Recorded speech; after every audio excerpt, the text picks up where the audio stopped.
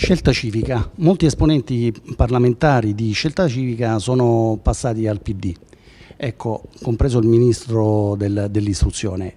C'è un problema di riequilibrio all'interno della compagine governativa?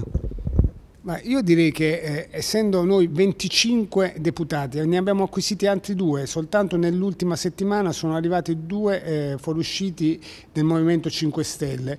Questo oh, a conferma della eh, nostra eh, sostanziale estranetà alle logiche tradizionali del modo di fare politica. Ecco, i 25 eh, deputati alla Camera senza una sponda al Senato evidentemente oggi riescono a dire meno rispetto al passato. Certo è che in prospettiva è possibile che questi numeri possano diventare fondamentali ed è per questo che giustamente questa compagine 25 che rammento è più numerosa della Lega ed è di fatto pari a quella di SEL eh, debba trovare una uh, sua espressione più significativa nella compagine governativa. Abbiamo solo un sottosegretario e questo oggi per 25 parlamentari eh, ritengo sia davvero un risultato minimale.